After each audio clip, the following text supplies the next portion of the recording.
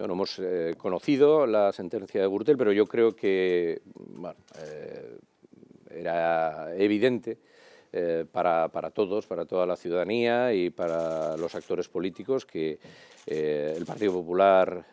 bueno, pues tenía un problema con la corrupción, un problema en el que bueno, pues muchas personas que pertenecen a ese partido se han eh, lucrado individualmente y parece además que también, por lo que dice la sentencia, pues eh, el propio partido también eh, lo ha hecho. Es evidente que el Partido Popular le debe una disculpa a la sociedad, es evidente que tiene que mm, reparar el quebranto sufrido, que lo establecerán los tribunales,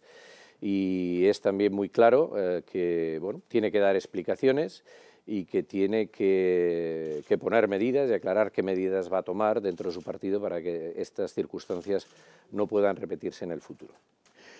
Vamos a ver qué es lo que dice Pedro Sánchez, ¿no? No sé el, cuál es la, intención que tiene,